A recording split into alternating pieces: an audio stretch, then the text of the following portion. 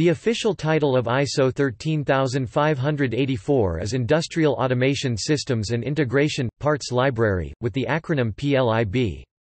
PLIB is developed and maintained by the ISO Technical Committee TC 184, Technical Industrial Automation Systems and Integration, Subcommittee SC4 Industrial Data. See also ISO 10303.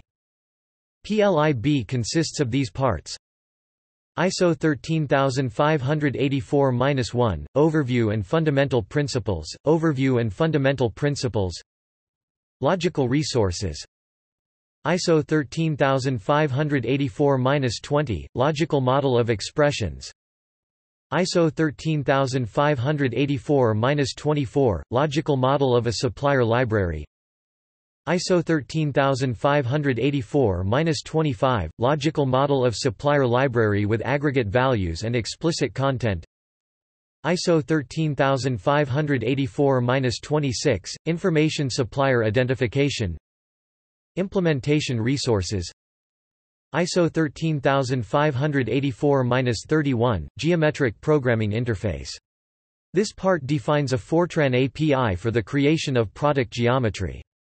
It is derived from the German VDA API DIN 66304 ISO 13584-32, Implementation Resources, ONTOML, Ontology Markup Language. This part specifies an XML-based exchange structure of ISO 13584-25 compliant data.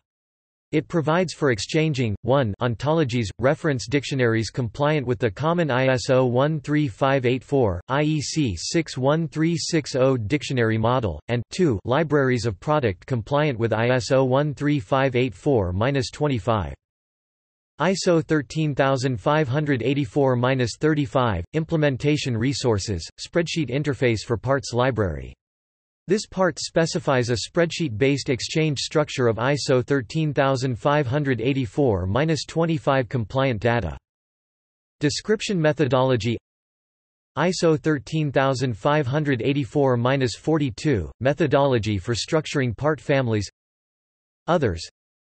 ISO 13584-101, Geometrical View Exchange Protocol by Parametric Program ISO 13584-102, View Exchange Protocol by ISO 10303 Conforming Specification ISO 13584-501, Reference Dictionary for Measuring Instruments, Registration Procedure ISO 13584-511, Mechanical Systems and Components for General Use, Reference Dictionary for Fasteners PLIB and IEC 61360 Component Data Dictionary are using the same data model.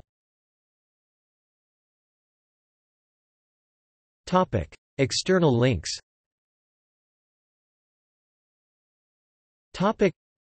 PLIB home page IEC 61360 Component Data Dictionary